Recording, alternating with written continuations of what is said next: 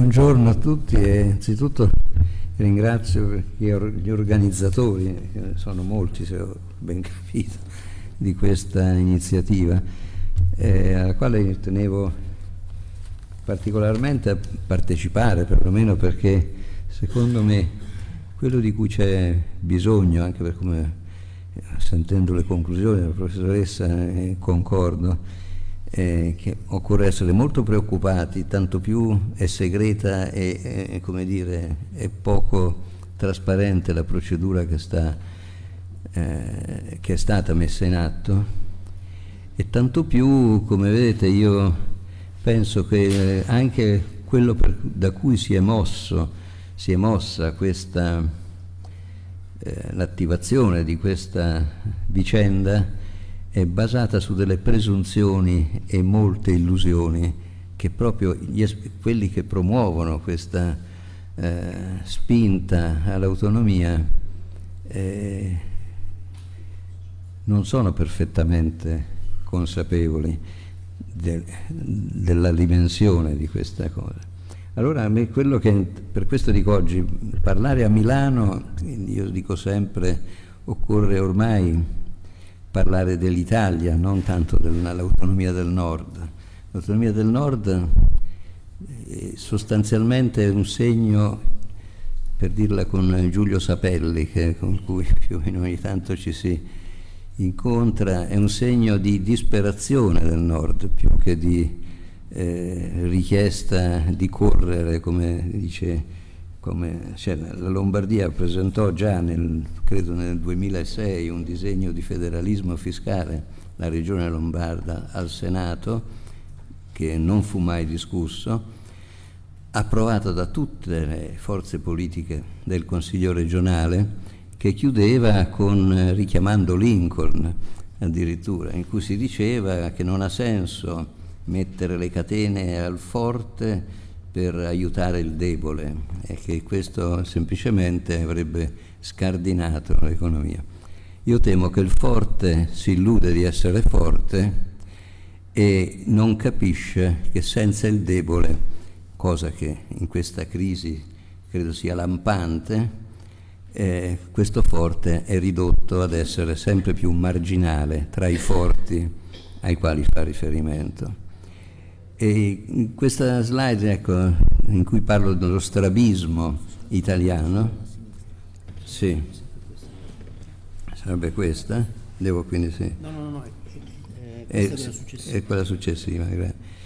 Ecco, in questa fase, eh, questa è una, semplicemente una cosa molto sintetica. Io cercherò di, qui ci sono una quarantina di slide, ma vorrei ovviamente anzi prego il moderatore di darmi i tempi. Un sì, sì, un quarto d'ora, eh, sì, sì, quindi di, di avvertirmi. Eh, vedete, l'Italia nel 2001, facendo 100 il PIL pro capite dell'Ox, medio di tutti i paesi, come sapete l'Ox è questa organizzazione praticamente di, di tutti i principali paesi al mondo, l'Italia era 108 nel 2001, nel 2013 è scesa a 88, nel 2016 è scesa ancora, cioè l'Italia sta perdendo a livello comparativo la natura di un paese sviluppato, cioè se guardate la Polonia che era 57 nel 2001, oggi è 78 e oggi no, nel 2013 era 78, cioè sei anni fa e oggi è sostanzialmente quasi in linea con l'Italia, cioè ci ha raggiunto. Se guardate il mezzogiorno per far capire cosa sta succedendo dentro l'Italia, nel 2001 era 74, quindi aveva un bel distacco dal 108 medio nazionale, ma era superiore per esempio alla Polonia e al Cile che era 34. Oggi il mezzogiorno è meno del Cile, 54, e molto meno della Polonia. Ricordate che Mezzogiorno e Polonia sono le due aree fondamentalmente più intensamente interessate dalle cosiddette politiche di coesione dell'Unione Europea.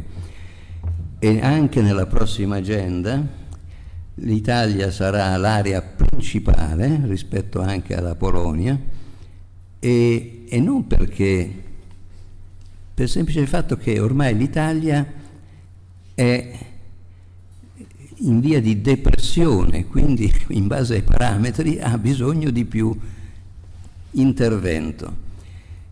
Tanto per capirci, oggi l'Italia, normalmente non siamo abituati a considerare l'area delle politiche europee di coesione, quelle della coesione come quelle del mezzogiorno continentale più le due isole, da oggi sarà il mezzogiorno continentale, le due isole più l'Umbria più le Marche e l'Abruzzo che è rientrato dall'area di transizione. Quindi ormai se guardiamo l'Europa, diciamo, dove guarda le aree arretrate in cui intervenire con l'unica politica federale che ha l'Europa, perché il bilancio europeo serve per le politiche di coesione in gran parte, beh, l'Italia è il grande malato, è il grande malato, è il grande malato non solo per il mezzogiorno, ma anche per il nord.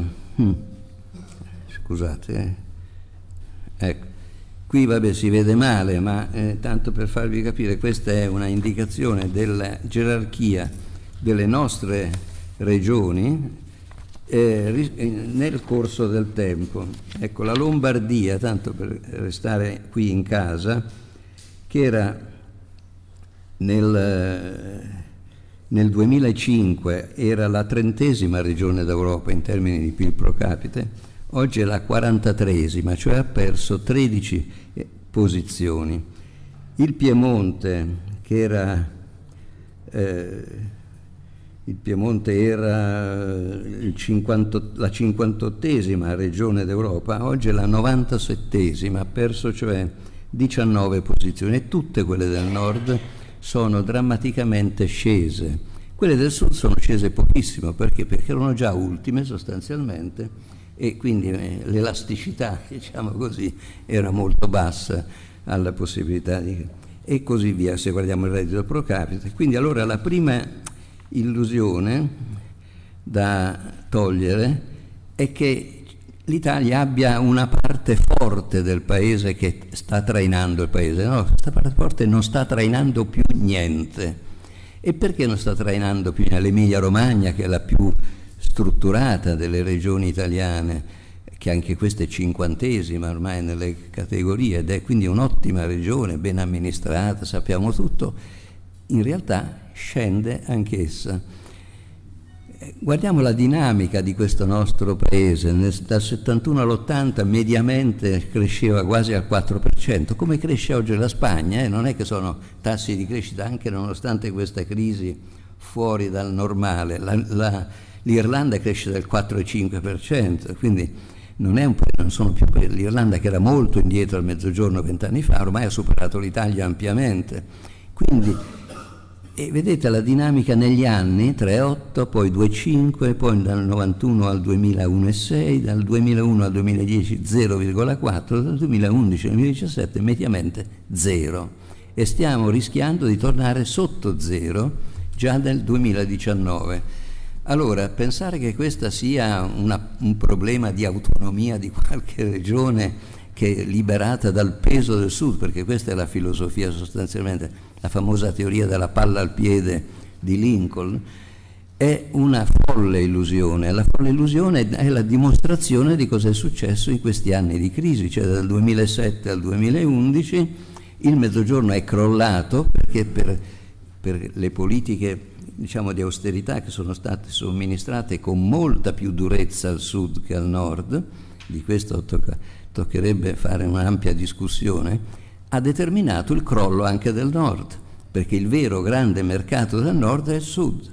Quindi l'interdipendenza che c'è tra questi due pezzi, pensare di risolvere la crisi del nord liberandosi del sud vuol dire suicidarsi il problema è capire come far sì che il nord e il sud riprendano ad avere un ruolo in questa Europa. E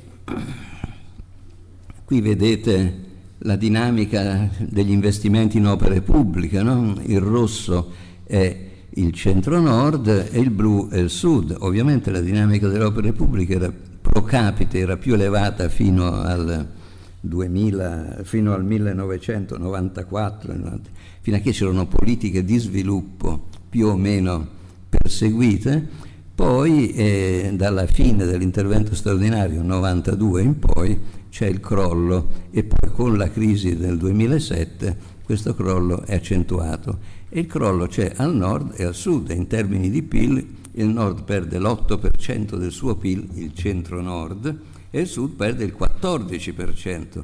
L'Italia perde appunto più o meno l'8% del suo prodotto interno lordo.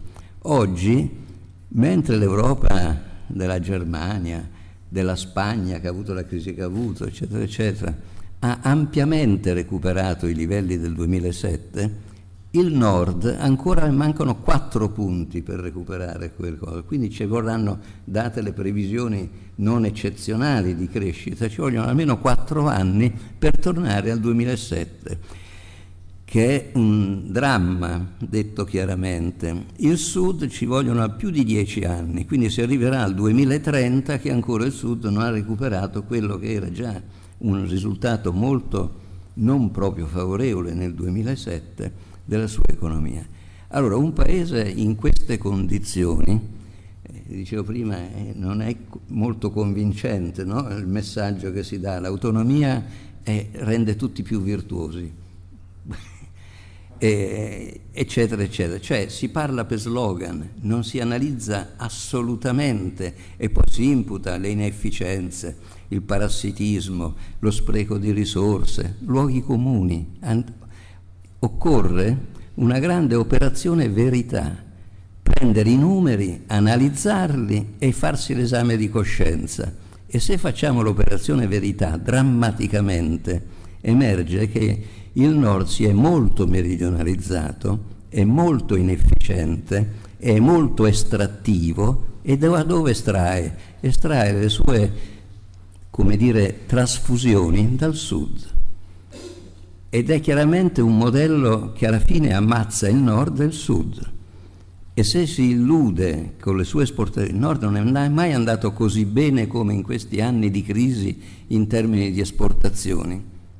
Guardate le dinamiche dell'export delle regioni del nord, Veneto compreso, tutti questi, eh, è fortissima e ha perso l'8% del suo PIL. Cosa vuol dire? Vuol dire che il suo mercato non basta che suo, la sua competitività mondiale non va, sono eccellenti, ma è un'eccellenza che è fatta di numeri sempre più piccoli. E quindi basta pensare, la, cos'è la crisi? La crisi è selezione, ha selezionato i migliori. Certo, se rimangono pochi migliori, in una realtà in cui la popolazione è quella che è, questi migliori trascineranno poco. E quello che sta succedendo è ampiamente una conferma di questo sospetto che qua, da quello che ho capito, non esiste. Allora il problema di parlarsi nord e sud è fondamentale, come era fondamentale negli anni 50, quando il sud fu fondamentale per rimettere in piedi il nord e per fare il miracolo economico. Fu fondamentale perché esportò 6 milioni di lavoratori al nord, perché fece un'industria pesante al sud senza la quale il nord non andava da nessuna parte e dal 1957 con il Trattato di Roma ha consentito al nord di conquistare i mercati europei. Senza quel ruolo del sud che è stato trasformato in 20 anni per la prima volta nella storia unitaria, il nord non sarebbe andato da nessuna parte.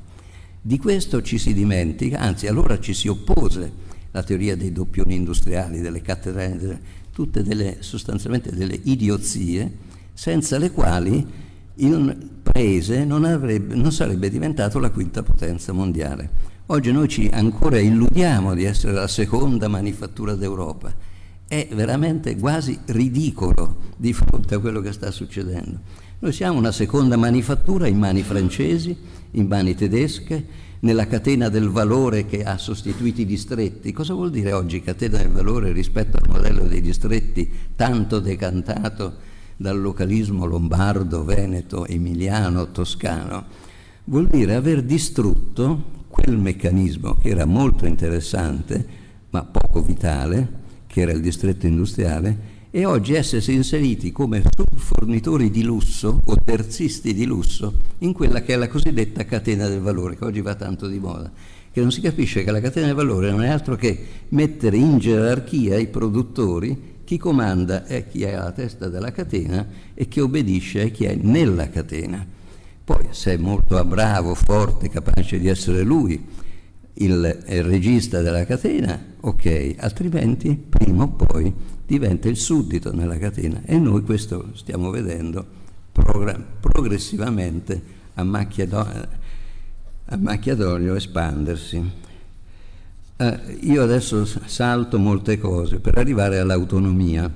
Ora, l'autonomia, per quello che eh, la mia impressione, è effetto della disperazione oggettiva che viene ammantata di presunzioni e illusioni inesistenti. Eh? Cioè, rimettere in moto il nord come tra...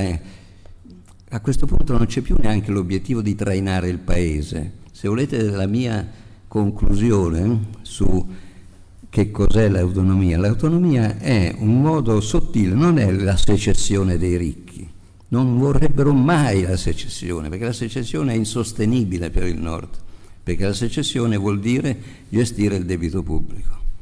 Provate a, portare l'80% del debito pubblico nei bilanci delle regioni Campania, eh sì, Lombardia, Emilia, Emilia, Veneto, lo spread altro che a 700 arriva. Quindi non è questo l'obiettivo, anzi tutt'altro, infatti rassicura, non si parla né di federalismo fiscale né di devoluzione, ma come mai si sono cambiati i termini? Oggi si parla di una cosa di cui non si è mai parlato, il regionalismo a geometria variabile. Se vi interrogo, che cos'è il regionalismo a geometria? L'avete mai studiato? Eh, sul federalismo ci sono stati dibattiti, sulla devoluzione c'è stato un referendum. Il regionalismo e che cos'è? È un modo di imbrogliare chi sottoscrive un contratto, che non ha mai capito niente di queste cose perché non se ne è mai interessato e che si trova oggi, per così dire, formalmente con, connessa a questo. Allora, venendo all'autonomia, l'autonomia è prevista dalla Costituzione, 116,3 va benissimo, ma la Costituzione dice una cosa, 116 comma terzo nel rispetto del 119. 119 è il modo come si finanzia e così e c'è una legge di Calderoli del 2009 che spiega come si attua il 119.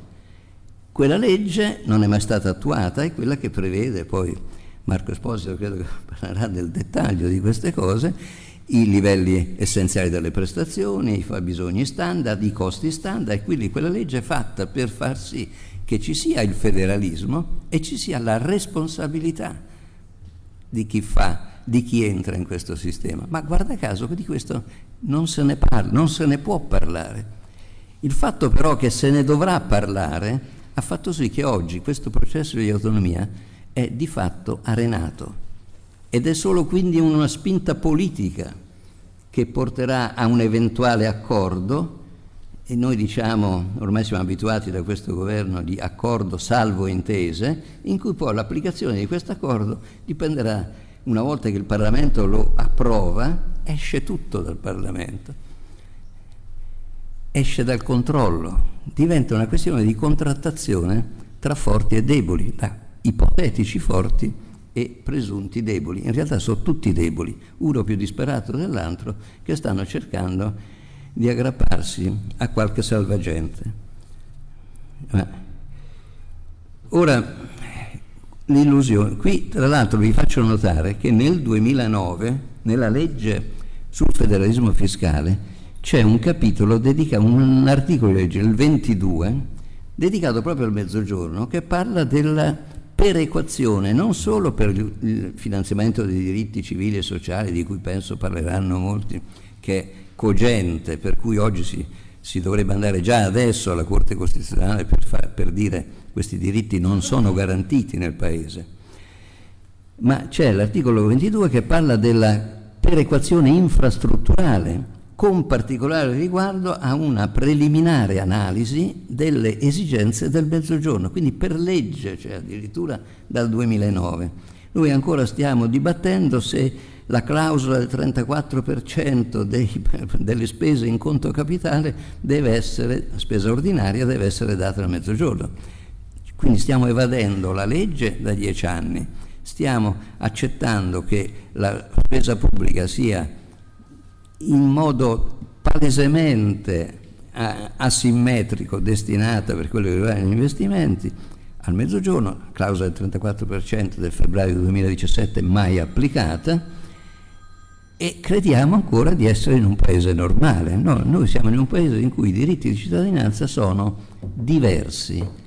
Allora, io credo che ormai l'obiettivo minimale, perché se ne stanno rendendo conto che non potranno avere quello che Zaia o cosa declamavano il 4 di marzo, avremo indietro i soldi, questo hanno detto, e la ministra disse sì, è un fatto epocale, questo non potranno averlo perché indietro i soldi, a parte che non ci sono, non ne hanno nessun diritto, anzi dovrebbero loro restituire i soldi. E quindi l'operazione verità che sta emergendo grazie a questa provocazione un po' stolta, diciamo, di queste, ma chiaro che quando uno è forte diventa anche un po' scemo, quindi il rischio è questo, eh, perché poi quando uno è forte ed è scemo è pericoloso, questa è la, la sintesi. Però è pericoloso per tutti, anche per chi è forte. Allora, veniamo al tema. Qual è l'obiettivo principale subito poi messo da parte perché palesemente incostituzionale e palesemente indifendibile anche di chi lo ha sostenuto con virulenza all'inizio. Era questa idea che noi paghiamo molte tasse, riceviamo molta meno spesa delle tasse, questa differenza la regaliamo al sud sostanzialmente. È, è ora di finirla, è ora di avere trattenuti sul territorio queste cose. Dal punto di vista di principio questa è una tesi infondata, perché le tasse le pagano i cittadini, e le pagano allo Stato e lo Stato ha un obbligo solo di dare i servizi sociali e civili indipendentemente dalla residenza, questa è la Costituzione, questo dice, quindi i territori non c'entrano niente con questo fatto del residuo fiscale, è una sovrapposizione di comodo. In più, quando fanno il calcolo del residuo fiscale, non calcolano una cosa fondamentale che da vent'anni noi stiamo dicendo che dovrebbero essere inseriti, il fatto che l'Italia è un paese estremamente indebitato, che ha un avanzo primario, cioè che spende di meno di quanto incassa come tasse, quindi diciamo avanzo, è molto virtuoso, però ha sempre un deficit perché? perché gli interessi che deve pagare sul suo debito ampiamente sono, neutralizzano questo avanzo primario. Da notare, questi interessi che io pago per il debito fanno sì che, siccome c'è un debito ulteriore, io devo aumentare il debito. E poi se il reddito cresce poco, come in questo periodo, in questa, da dieci anni a questa parte, ma da molto prima cresce poco, questo debito diventa esplosivo. Allora, per cosa sto facendo questo debito? Per fare opere pubbliche? No, io sto tagliando le opere pubbliche, solo per pagare gli interessi. Questa in gergo si chiama Ponzi Finance, cioè gioco delle tre carte. Io mi indebito per pagare gli interessi, per pagare gli interessi aumenta il debito e ulteriormente mi indebito. Finché la gente ci crede io riesco a fare, a reggere.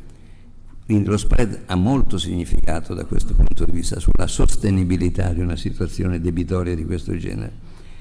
Ora, questi interessi a chi vanno? Ai possessori del debito. Chi sono i possessori del debito? Sono il nord, detto molto in sintesi, le banche del nord, le famiglie del nord e l'estero.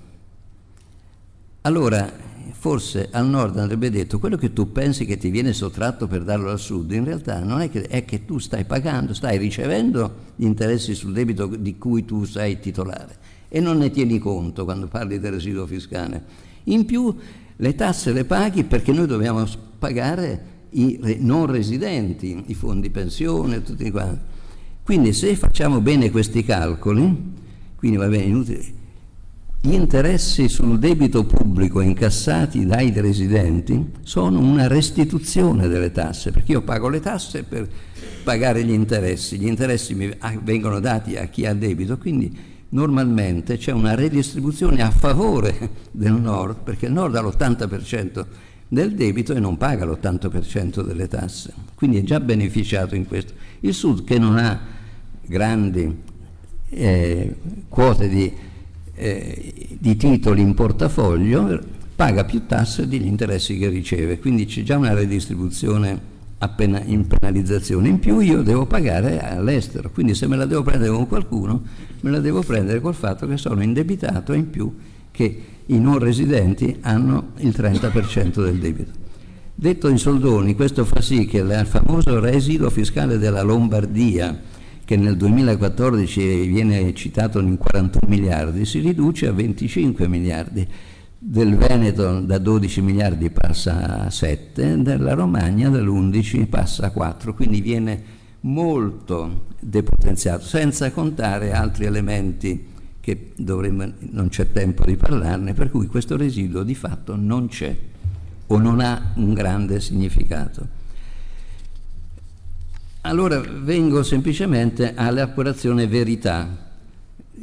Oggi quello che si tenta di fare, molto sinteticamente, due minuti e chiudo, si tenta di dire su 23 per quello che è la, eh, la Lombardia e, eh, e, il Veneto, su 23 funzioni eh, occorre fare questo trasferimento. Si dice si fa un trasferimento a costo zero, cioè a saldi invariati.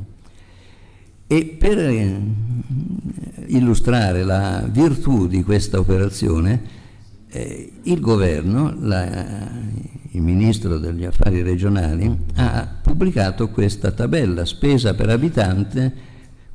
Eh, come si fa a tornare indietro? Ecco, questa tabella in cui se vedete nel non so se si leggono i numeri, ma a questo punto è importante leggere i numeri, le ultime tre righe ci dicono che l'Emilia Romagna, il Veneto e la Lombardia hanno mh, pro capite per queste famose eh, funzioni richieste meno della Puglia, della Campania, eccetera, eccetera. Cioè la Campania ha 3.700 euro, la Lombardia ne ha 2.700, tanto per capirci. Una... Ora, questo è un imbroglio che viene facilmente smontato, che però sul sito del Ministero non è stato smontato, quindi risulta questo ufficialmente. In realtà, quando andiamo a fare i conti della totale della spesa per quelle funzioni regionalizzata, eh, scopriamo che la Lombardia, eh, cioè il centro-nord, tanto per rimanere a pro capite con i conti pubblici territoriali, che sono una dire, una fonte di informazione dello Stato, quindi non è un ente a parte, quello che fa la contabilità regionalizzando la spesa, ci dice che il centro-nord ha 13.000 euro pro capite, il mezzogiorno ce n'ha 10.000, cioè 3.000 meno pro capite, e l'Italia ne ha in media 12.000. E poi accanto c'è un altro modo sempre della ragioneria dello Stato più completa rispetto a quella tabella precedente, che comunque ci conferma che comunque la calcoliamo, le risorse pro capite spese per i diritti civili e sociali, per quella parte che deve essere comunque finanziata indipendentemente dal reddito dalla, e dalla cittadinanza, dalla residenza, sono nel caso specifico in questo momento di 3.000 euro pro capite più alti come finanziamento nel centro-nord, nella Lombardia nella, nella Venezia Giulia sono 15.000 euro, in Lombardia sono 13.000 e così via, rispetto a, so, alla Campania e così via. Quindi se c'è un, problema di redistribuzione, altro che saldi invariati, se noi dobbiamo garantire a tutti, qui c'è un problema di redistribuire dal nord al sud. È chiaro che questo è impossibile, però è chiaro che se ci deve essere una politica, una tendenza, deve essere redistributiva al rovescio rispetto alle aspirazioni sul controllo del residuo fiscale o tutte le argomentazioni un po' banali. Quindi, per concludere a questo punto, magari poi se ne riparla, io lascio qui tutta una serie di slide che poi fanno vedere come i diritti di cittadinanza si traducono in fortissime disuguaglianze in termini di povertà, in termini di distribuzione del reddito, in termini di alfabetizzazione, eccetera, eccetera.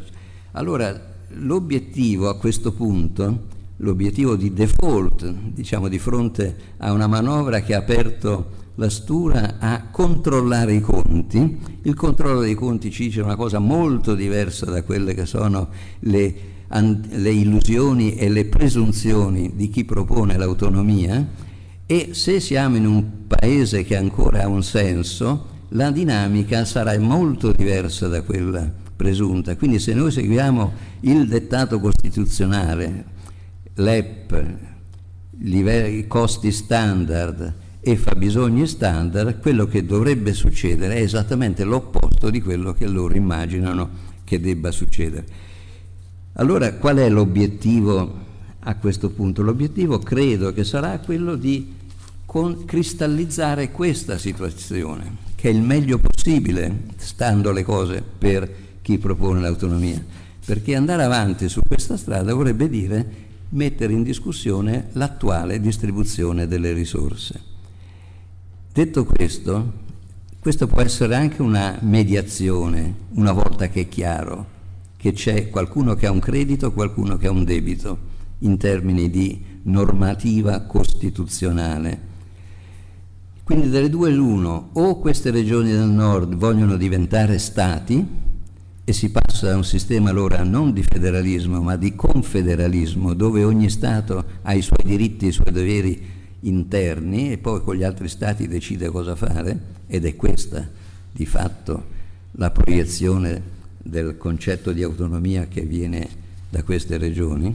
O se non vogliamo arrivare a un sistema confederale che praticamente metterebbe l'Italia fuori da, da un qualche minimo potere a livello di Unione Europea e vogliamo rimanere in un sistema federale, chiamiamolo pur cooperativo, non solidale, la solidarietà non c'entra niente, si tratta di essere chiari nei patti e seri nella realizzazione. In questo caso, allora, credo che sarebbe estremamente utile e importante che il nord e il sud ragionino su una cosa, ma che ne vogliamo fare di questo Paese? Qual è la via d'uscita da questa crisi dalla quale non si esce? Certo non si esce con l'autonomia. E questo apre un altro discorso, il ruolo del Mediterraneo, il ruolo dell'euro-mediterraneo, il ruolo nostro dell'Europa e nell'Europa.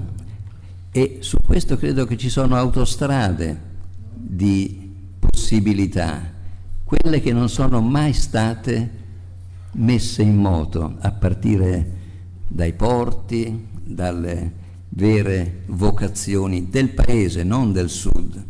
E in questo il sud diventa il secondo motore che si può affiancare a un Made in Italy che ormai sta esalando un po' gli ultimi respiri. Grazie.